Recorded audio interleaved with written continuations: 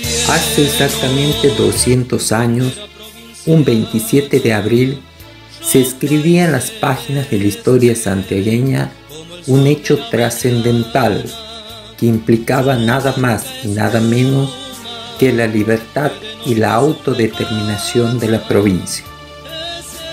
Poco más de tres años habían pasado desde el último levantamiento del coronel Juan Francisco Borges con sus milicias, el 10 de diciembre de 1816, para liberar a Santiago del Estero de su dependencia de Tucumán, gobernada entonces por Bernabé Arauz.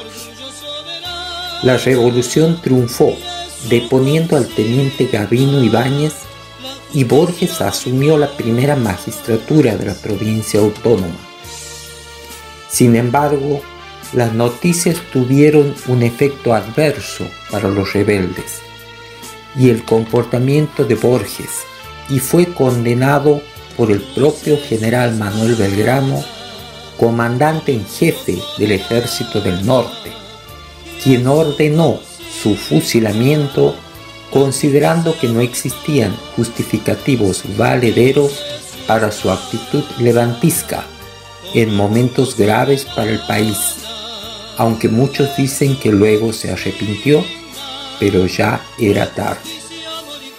En marzo de 1820, Santiago del Estero vivía acontecimientos decisivos.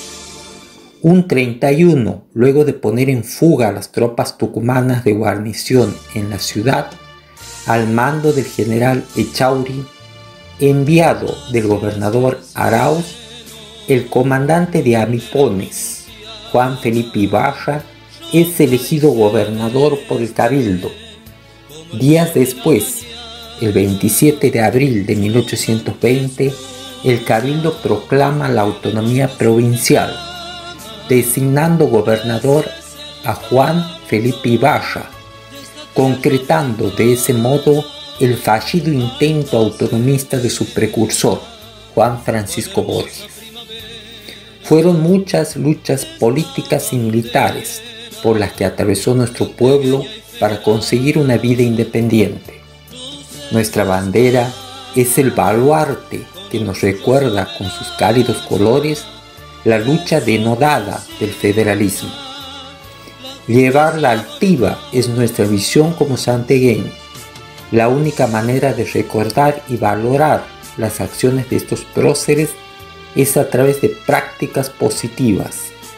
Hoy más que nunca, por los desafíos que nos toca atravesar como sociedad, levantemos la mirada hacia el horizonte proyectando un mundo mejor, tal como lo hicieron Borges e Ibarra.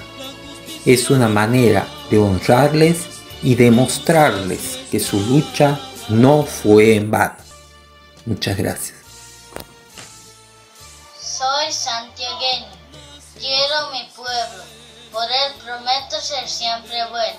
Quizás sea grande, me iré muy lejos, pero algún día, solo presiento, volveré alegre de gloria lleno, para ofrecerles con hondo afecto todo mi triunfo de santiagueño.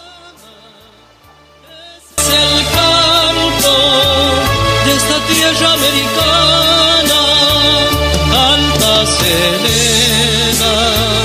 cual hermosa primavera